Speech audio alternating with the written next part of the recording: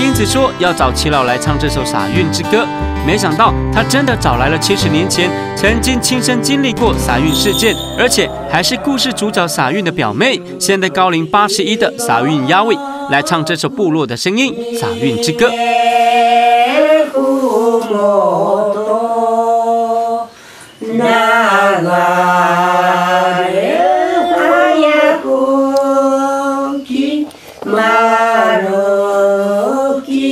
lani wataru.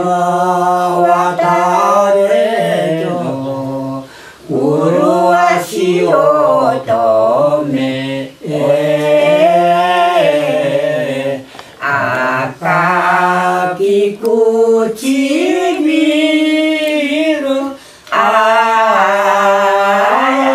Asa Maruki ba siya na ko. 咱们那个草哈，吊草那个，那个临时临时的可以叫，讲话吧？临时的叫，那个那个马路基巴西的那个圆叫的。国旗，过过还有大个桥流，洲那个阿卡基古奇贝尼小姐，十七岁，嗯，十那七岁就做的时候留守十七岁，那时候十岁，我家十岁，那个啥人哈，呃，为什么流下去呢？他就那个那个呃那个不断的浇了，那远远那个叫，但基基本上都中间那个那，他的他他的叫划掉了，划掉了那个呃流下去了。你问个有给我做美女还是？那个。啊，以前这条溪很危险哦。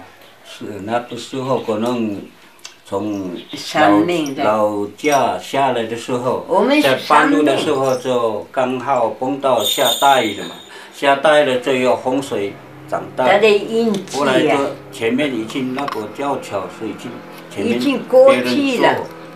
那个小街上面已经过去了，好几个才有水经来了。那过去了个水，刚好水超过那个它吊桥。自己的。印记呀。洒运的事件发生在一九三八年的日据时代。十七岁的金岳部落少女洒运啊，因为她的老师田北正纪收到从军征召令，要赶下山去军队报道啊，所以她自告奋勇帮老师背行李，送他下山。结果碰上暴风雨，老师虽然安全下山，洒运却在便桥上失足落水死亡。当时的半官方团体少女青年团就颁赠了一座刻有“爱国少女洒运之中”字样的铜钟给部落。结果洒运之中被当时的台湾跟日本媒体大肆报道，后来还出版书籍、唱片、电影，就连最近陈洁瑶导演拍摄的《不一样的月光》电影，内容就是在讲洒运之中的故事啊。